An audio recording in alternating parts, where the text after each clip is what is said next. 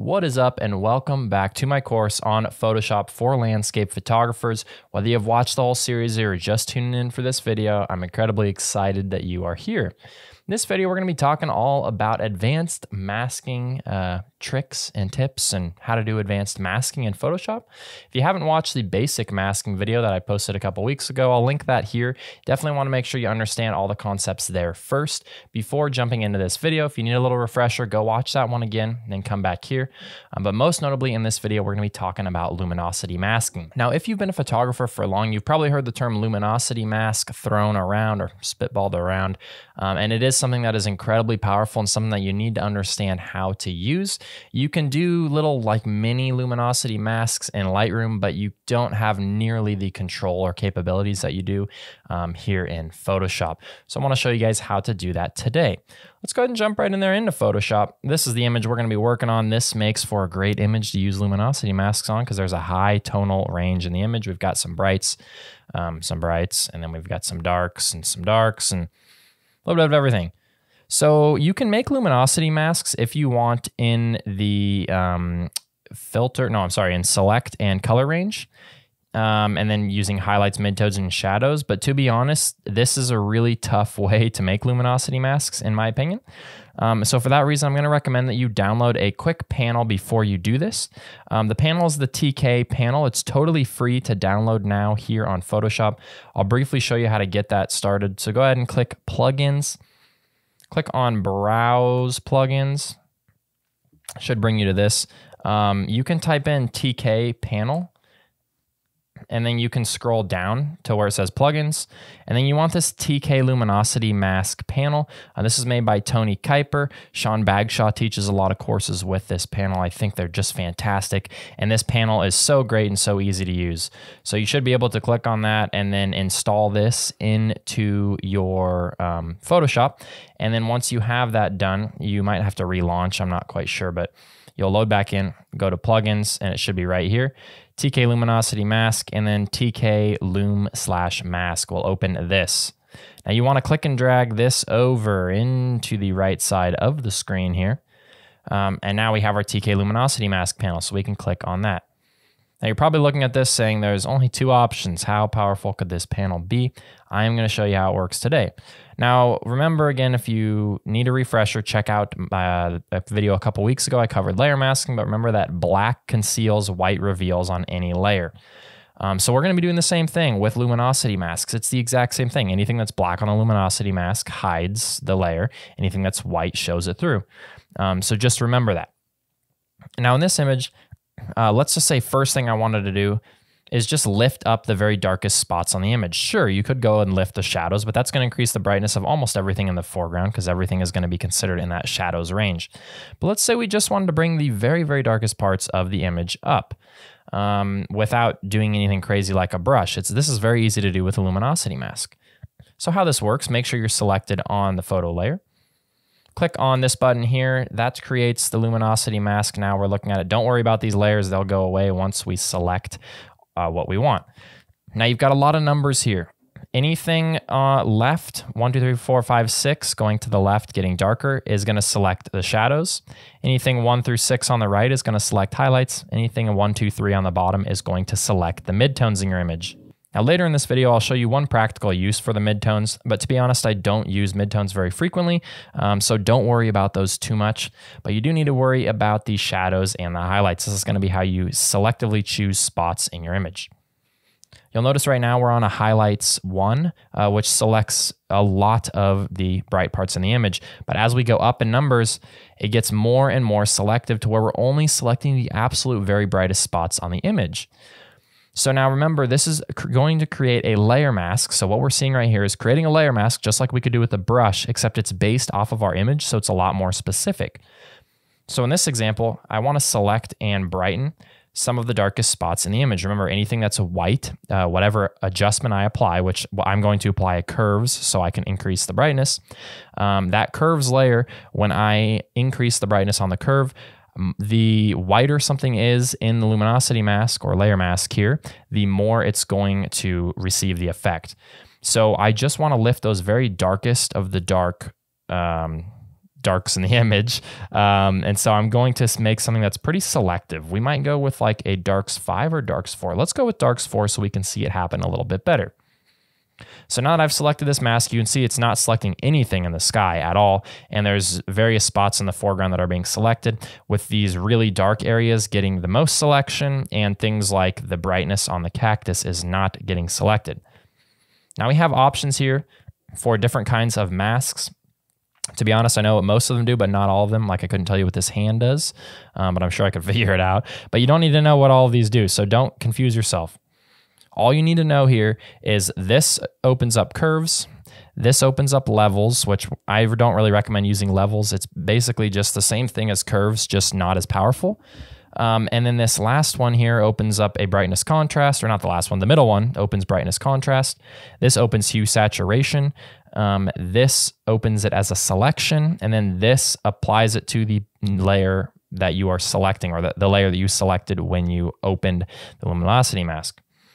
Now, I would say at least 50% of the time, you're just going to want to select a curve. So I've got that uh, shadows 4 selected.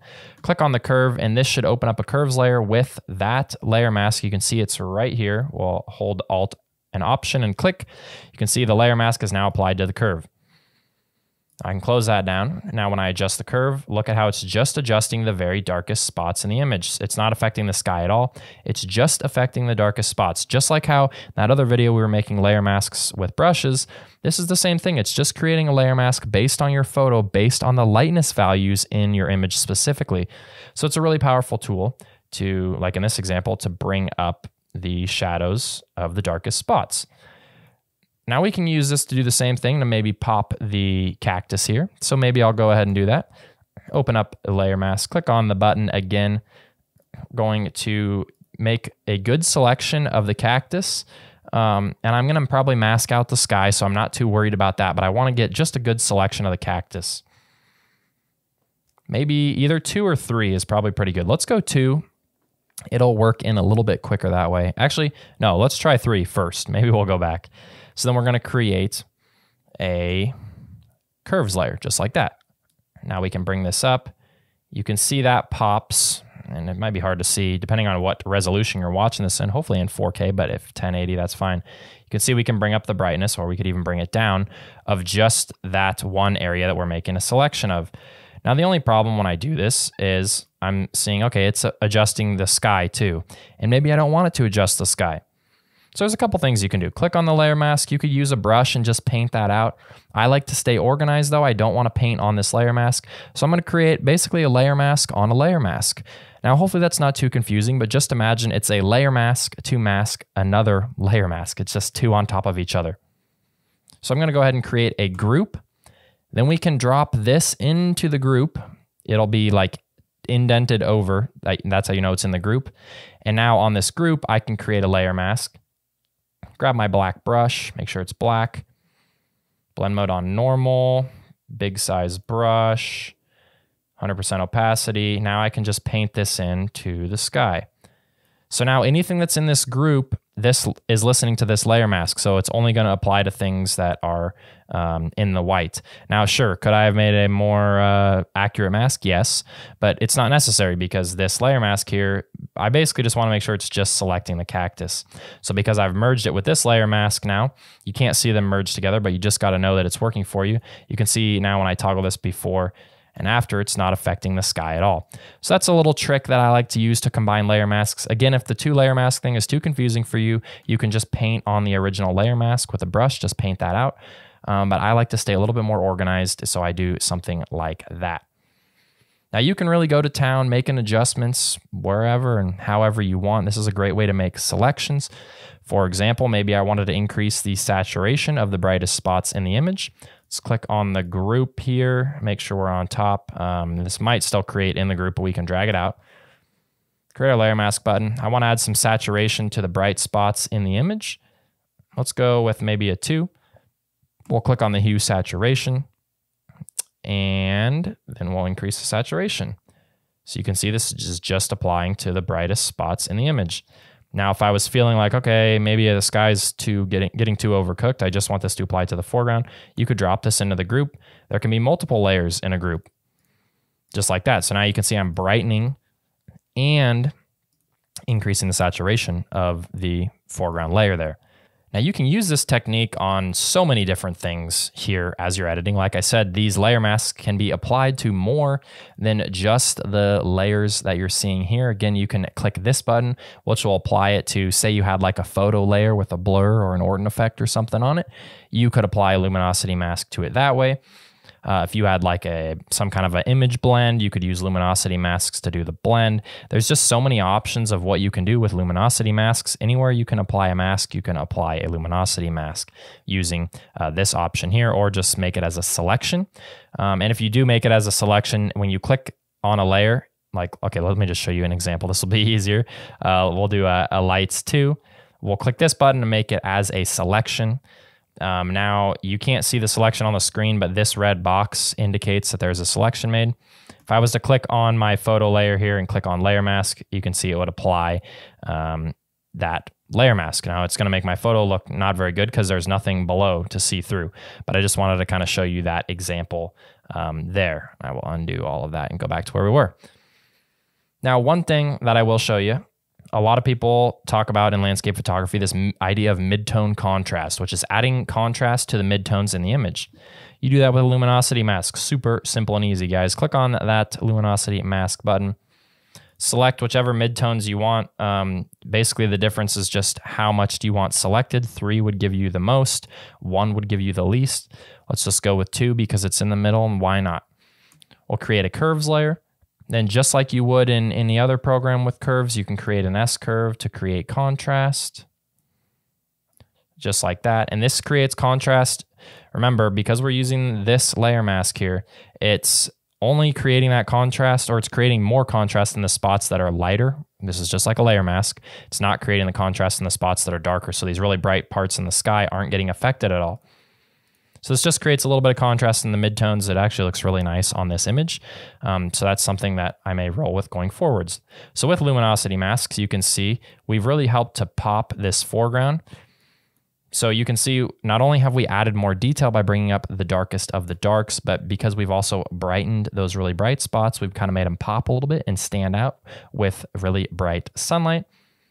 So that looks really nice. We've combined the layers together um, so that was very easy to do as well. So remember, you just create the group, throw the layer mask on there, and you can combine it all together. Uh, that is also really helpful if you make a layer mask and you want it to like, let's say you make a layer mask of the sky uh, a luminosity mask. You can apply it to a group, and then you can put however many adjustments you want within that group um, to then make them all have essentially the same luminosity mask. Because the layers that are in the group are going to not only listen to the layer mask that's attached to them, but also what is attached to the group as well. So my final word of advice here, um, again, I like this TK Luminosity panel. Um, don't worry so much about all of the different buttons truly, once you open the luminosity mask panel, all you need to worry about is selecting the correct uh, luminance value. I guess would be the right word for it. And then all you need to worry about is what kind of layer you want to create.